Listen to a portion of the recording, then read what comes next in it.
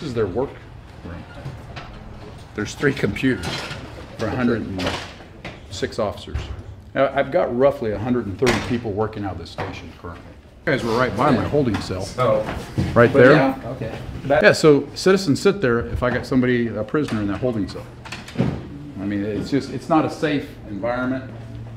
The chief has a meeting out here. This is my squad room, so at five o'clock, if the chief isn't done with his meeting, I've got third shift officers that have to find a way to sit down with their supervisors to go over what's been going on and what we need to do. I could have anywhere between four and six sergeants working at a time. This is their office.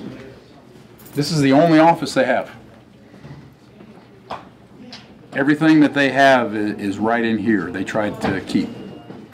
There's three chairs and three computers.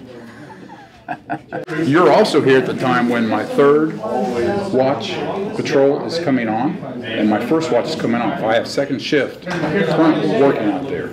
Uh, So I've got a supervisor, I have seven or eight officers out. I'm gonna have seven or eight coming in, nine or 10 going out. Plus SCAT team would be coming in on certain times of the week. Community policing officers are working right now. I can't even put my SCAT or my CP officers in this building because I do not have the office space or the facility to be able to have, have a computer, an office area, a place to talk to citizens or work with, you know, confidential informants or on complaints. So they're actually off-site, which to supervise, it's not, not the greatest situation. This is the uh, men's locker room. If you notice, real quick, I've got shotgun and uh, cleaning supplies and, and weapons cabinet, all this for scat entry and, and riot gear. I have to put it here, which is kind of in the way, but I have no place else to put it and it has to be secure. So then you come here and I've got electronic lockers for cameras, my, my mobile computer terminals, those computers are in the cars. This is, this is the men's locker room for 90, roughly 90 officers, male officers. With supervisors, you're looking at about 110, okay, 115, 110 people. This is it. This is the locker room.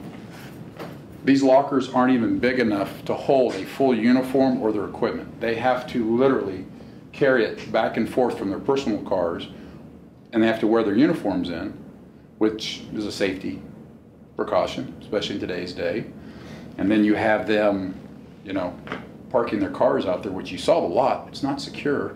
We've had police vehicles vandalized, citizens, our vehicles vandalized. This is one of our lockers. This is just, we use for some extra storage and stuff, but this, this is the size of them. You can't even put a hole. If something happens to one of their uniforms, we have to have them go home to change. All of our community policing bikes, we had them in here that our officers use when they're on bike patrol. That was in the showers. You couldn't even use the showers for the officers because it was all lined up.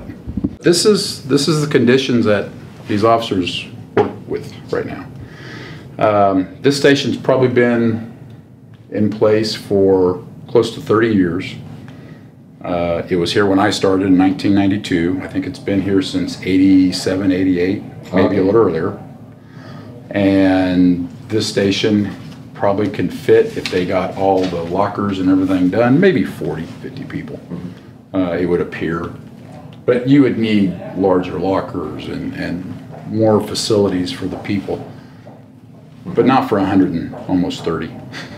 Okay.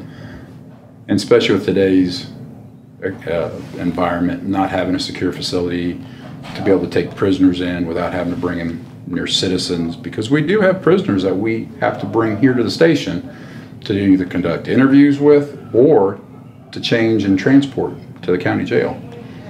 So this does affect the officers' morale a little bit. This does affect, um, you know, the working environment